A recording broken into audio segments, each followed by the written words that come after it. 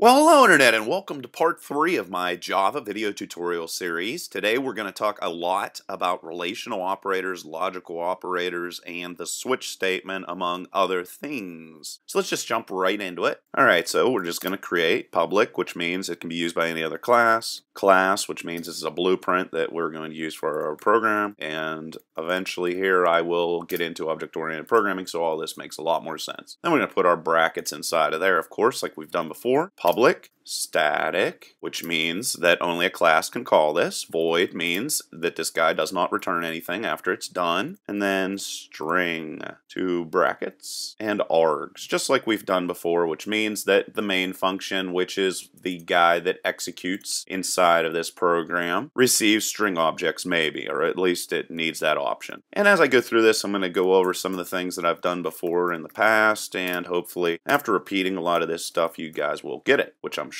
you will. Okay, so I'm creating a random number. I'm going to make sure that it is an integer. I'm going to call the math function random. And I'm going to say I want a number between 0 and 49. Remember, it doesn't go to 50. Almost, but not quite. And the first thing I'm going to talk about is relational operators. And here are all of Java's relational operators. There's greater than, less than, equal to, not equal to, greater than or equal to, or less than or equal to. So that's all of them. And then we're going to get into the if statement. You saw that a little bit in the last tutorial. If you haven't seen any of the other previous tutorials, definitely check those out. Otherwise, you may be confused by this. All right, so we're going to go random number. And if we want to check if it's less than 25, we just do that. Okay, it's real simple. Sure you guys got that and we might want to print out a message on the screen if that is indeed true. Of course, it's a random number, so we have no idea what that number is. And we'll say something like the random number is less than 25. And print that out on the screen if that condition is true. And we can check to see if it is. Actually, before we do that, why don't we just print out the random number underneath of this guy.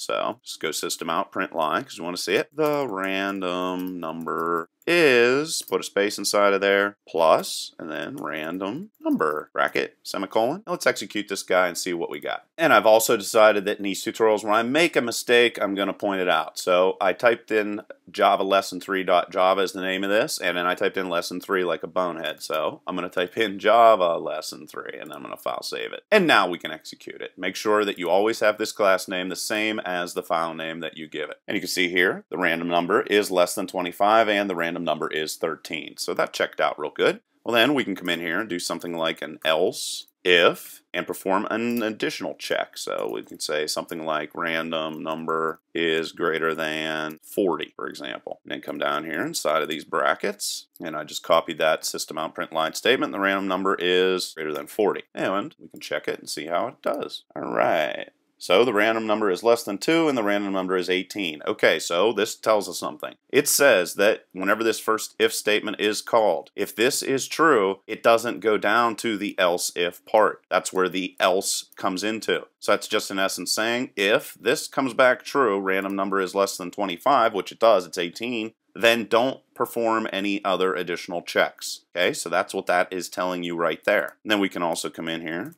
do another else if statement. So we'll go else if it is equal to 18 popped up there. Let's just type 18 again. The random number is equal to 18, which we know it's not going to be, but what the heck, let's just try it. Execute. Here, the number is less than 25, and the random number is 1. Okay, so that's how we do an equals check. Now, if we want to do a not equal to, let me just go in here and say not equal to 40. The random number is not equal to 40. And I promise these tutorials are going to get a lot more interesting. Actually, the next one's going to be a lot more interesting. Form additional checks, random number is 39. We almost got 40. And you can see here the random number is not equal to 40, and the random number is 39. And then we can, of course, perform additional checks like greater than or equal to, which we would just come in here and say something like else if is it greater than or equal to 40? Or we could come in here and say, is it less than or equal to? And I'm not going to bore you by going through that. All the code through this with a lot more comments is available underneath of this video if you want to check that out. And then you could say something like else if nothing above is true, and you can perform some additional statements or execute additional statements. So let's just say nothing worked. So this is like a default, which we're going to see here later on. Whenever we talk about this switch statement. And we can execute this one last time just to see how it goes. Yep, the random number is 35, nothing worked. Okay, so there you see, there's the else statement coming into play as the default if none of these other things come back true. All right, so let's keep going here. And here you can see with my multi-line comment I made here, there are logical operators also available to you inside of Java, and there are six of those. And you have the not, which is basically going to turn any true into a false. So if we would put else if random number is less than or equal to 18, and let's say that the value was 15, well, this would come back true. However, if we would put this guy right there, that's going to come back as a false. It basically just turns whatever is to the right of it into the opposite. And Remember, we're dealing with booleans, and the only potential values are true or false. So it turns trues into falses and falses into trues. And instead of just speaking all this out, why don't I just show you what I'm talking about? If we come in here, it's always good to put everything inside of brackets. Let's just say if false. So false is the value. I just put that in there just like as if I was performing a check and false came back. And then we can do something like throw a print statement. I turned false into true. And that's in essence what that guy does. And I get a lot of questions about how to use escape sequences. So let's say I wanted to throw a new line into here. I'm just going to put a backslash and an N. And then we can see exactly what that does. I turn false into true. See, there's a new line inside of there. And this printed out because that's exactly what I did. If I would have put a true inside of here, that would have turned this whole statement into false. And this wouldn't have printed out on the screen at all. Leave any questions or comments below if I'm missing out on anything, but I'm sure you guys are getting it. All right, so let's use some of these other logical operators. Let's say we want to go if, and again, just put in false instead. What these are are conditional statements that we showed up here. So random number less than 25, if this was 20, for example, this would come back true. What I'm doing down here is just throwing in false or any of those other different things, those Boolean values, just so I can show you exactly what these guys do. Okay, so we're going to say our check came back false, and we're going to put the two and symbols inside of there. The other one came back true. All right, so what happens if that occurs with the AND logical operator? Well, AND will only execute the code inside of here if both of these guys are true. So we're just going to say both are true, like that. And we know that they both are not true. Throw these quotes in here in the right place. Okay, good.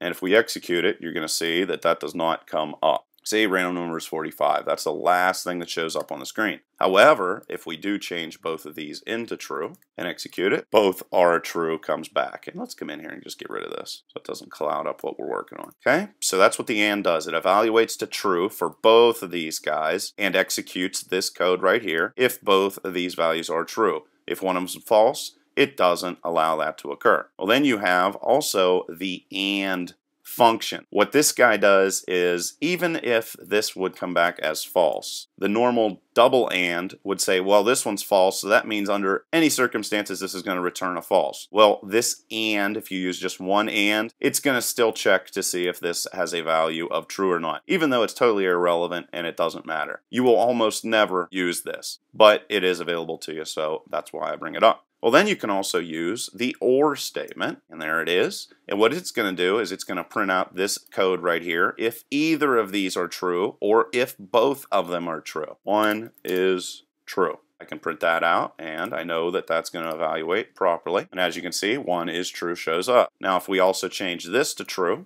and execute, it's still going to come back as one is true, even though they both are true. Well, then you have the XOR statement. What it does is it evaluates to a true statement only if one is true and one is false. And there it is right there. And if we execute this guy, it's not going to print anything out the screen because you have two trues there. As you can see, nothing printed out. However, if we come in here and put one false statement in, it will indeed execute that line of code. As you can see, it did right there. And let's come in here and just get rid of all this stuff. Again, the code is underneath this video. If you want to go get it, there's a link to it. So let's just come in here and delete all that, just so we have a nice clean workspace we can play around with. Because now I'm going to go over the conditional or the ternary operator. And basically what it does is it assigns one or another value based off of a condition. So I'm going to come in here and say biggest value creating a new variable named biggest value. I'm going to use the ternary operator to evaluate what the value of biggest value is based off of a condition. The condition is going to be, I'm going to create two additional ints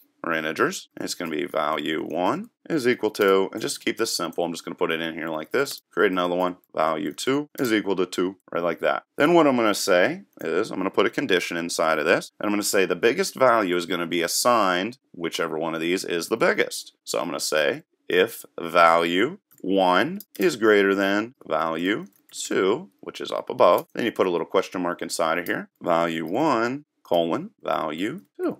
And this is real simple. Don't let this mess you up. Basically, what it's saying is if value 1 is greater than value 2, if this comes back as true, I want you to assign the value of value 1 to the biggest value. If this condition right here is not true, I want the biggest value to have the value of value 2. That's all it's saying right there.